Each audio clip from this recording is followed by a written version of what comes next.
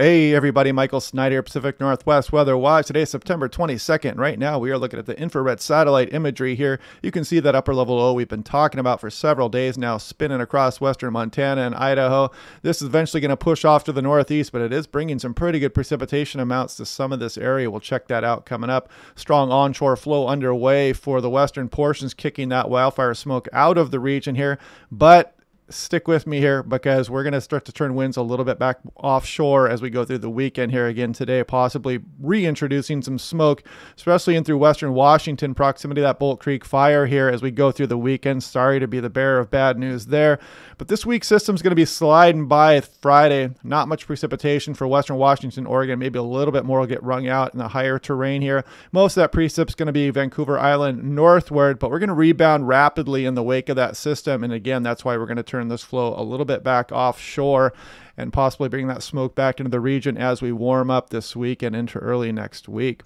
Now, taking a look here, visible satellite imagery here, upper level low, nice shot of that spinning over the Idaho Panhandle, western Montana. You can see the marine layer pushed all the way up to the Cascades here, strong onshore flow, helping to clean out the atmosphere here west of the Cascades. But in turn, we're starting to shunt that forest fire smoke on downstream here into eastern Washington. So if you guys are getting smoke out here in eastern Washington, you know where that's coming from. Bolt Creek fire, uh, White River fire, etc. out there. Now, taking a look here, elevated fire risk does exist for the east slopes of the Cascades as these west winds are going to be roaring through the Cascades today. You saw it upper level low here, kind of creating that pressure gradient, bringing these winds and this onshore flow through the Cascades there. So, heads up, we still have some fire danger going on across the region. You can see that excessive rainfall outlook does include for a slight risk here across Montana, Idaho Panhandle, marginal exists off into Mon- uh, Washington and Oregon there as well. Uh, Missoula, Montana, with a nice graphic out there. Cold, wet back country, snow level 7,000 feet. Fog potential Friday morning. Watch out for the standing water, etc. Hopefully, no flooding concerns come of all this rainfall as well. Now, looking at Seattle, yesterday 77, 7 degrees above average here. And uh, we're going to cool down back towards average today. I wanted to point this out though for Monday the 26th. Looks like it might be the warmest day here in this little warm wave coming up here this weekend on into early next week. 78. That the forecast high is around 79 or 80. So we may pick off this low hanging fruit here on this record high. We've just never hit 80 degrees here on this day. It's the only day in September we have not at least hit 80 degrees in Seattle. So we may fix that this year. We'll see how that goes coming up here. Now, taking a look at eight meters above the ground, the HRRR high resolution, you can see as we get this westerly flow this afternoon, these winds pick up. Looks like we increase this fire production here across the Cascades. So if you downwind of this, you know, maybe Wenatchee just south, south of Chelan there on in through eastern Washington. Maybe Moses Lake will end up getting some of this as well.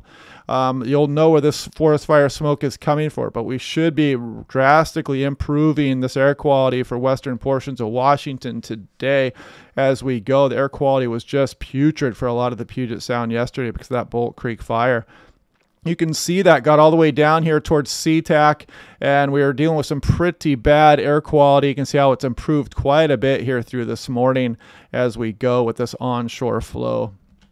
Now, taking a look here, this is the 06Z European. This is 925 millibars, 2,500 feet it's pretty close to what's going on at the surface. And you can see these strong winds through the east slopes of the Cascades of Washington and coming through the gorge here as well on through eastern Washington. Now watch as we go on in through Saturday as the system passes through, we start to turn this back offshore again. I know this is not what people in western Washington want to hear. This could also bring smoke as far down as Portland, Willamette Valley off to the coast as well. And of course, of course the Goat Rocks fire could still be active at that point as well. But we're the big story there is we're going to turn these winds back offshore again. It looks like later on in through Saturday through Sunday. So heads up for that as we go through this weekend. We warm up, but we in turn bring that offshore flow back across the region. Look at these winds here in eastern Washington and Oregon, kind of that easterly component as you see, and this wind's being drawn all the way out across the ocean here.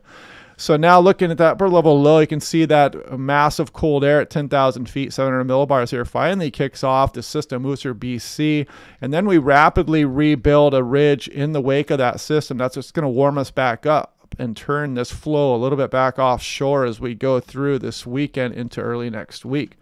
Now, taking a look at the precipitation with that upper level low, you can see some pretty good amounts falling this morning across eastern Washington, Idaho Panhandle, eastern, uh, western Montana here. Look at some of these totals, maybe up towards three inches locally out there. And you can see this next system kind of roll towards western Washington. Not much precipitation with it. Maybe some areas north of Vancouver Island with the best shot, but just a, a, dampening of the ground, it looks like right now with this very weak system. And then we will dry out again as we build a ridge over the Pacific Northwest here as we go through this weekend. Now, European on the left, GFS on the right, model comparison here.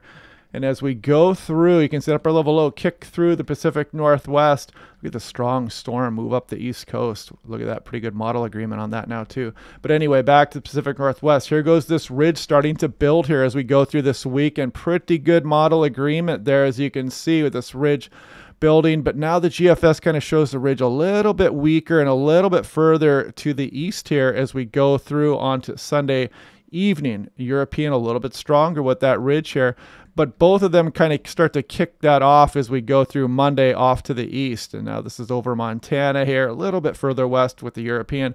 But then you can see this uh, troughing occurring over the Gulf of Alaska would quickly start to bring some more marine influence as we go on into Tuesday at least. And then by Wednesday, a stronger onshore flow would be continuing across the region as this ridge moves across the continent here. And you can see the fantasy hurricane out here across uh, the European and the GFS still showing this coming into the Gulf of Mexico. That would be no bueno here. So we'll watch that off into the extended as well with anybody uh, having any concerns down there. You can see still some pretty good model disagreement on that. But anyway, you can see that troughing existing here for the Pacific Northwest as we go through the extended. Maybe a bit of a bounce back here. Then the Gulf of Alaska trough. Look at this on the extended of the European here. And the GFS kind of showing some troughing as well. Now, taking a look here, Seattle Tacoma, we talked about that record high on the 26th of Monday being 78 degrees. Look at this, 80 degrees. Maybe we'll pick that all time record high off there on Monday and get us up to 80 and fix that problem with September, where we uh, would then have all our record highs up into the 80s. But you can see pretty rapid cool down as we go towards Wednesday, much more towards average as we go through the extended here, which is kind of what the GFS and the European are showing at this point. But a couple warm days are coming up here and a pretty nice weekend, it looks like, in the wake of this very weak system moving through here on Friday. Now, looking at Spokane, kind of the same thing. You can see the bump as we go through Wednesday. Then we start to head back down towards normal in the extended. Vancouver International, you can see the bump here as we go through Monday as well. Same thing here. You can see the weak system keeping those temperatures down here through Friday, starting to bounce back Saturday, though. Portland International, look at this. Portland pretty warm here as we go through this week and on in through Monday with a 90 degree day. Maybe not out of the question here. I'll show you something else here regarding that as far as probabilities here in a moment. Stick with me here. Then you can see back down to normal as we go through the extended. Here's Crater Lake Klamath Falls Regional Airport. This is basically Klamath Falls. You can see the bump in the heat and then the drop back down towards normal temperatures in the extended. Upper level low kicking out, so we start to rebound those temperatures Friday and Saturday as well. Now, looking at Missoula International Airport as we go through the evening today, you can see some of these precipitation totals. Look at these ensemble members, a lot of them up over an inch and not many dry ones in here. There's none at all, in fact. So at least several tenths of an in, several tenths inch of rain. You can see the mean is right around an inch. The control just under an inch there. So nice rainmaker out there for western Montana. You can see Seattle Tacoma almost no precipitation with this very weak frontal system moving through tomorrow. Then you can see this kind of mishmash of dry and some light precipitation and a few wetter systems embedded in here and they're extended. Just something we'll continue to watch. I mean, this is still a week out at this point.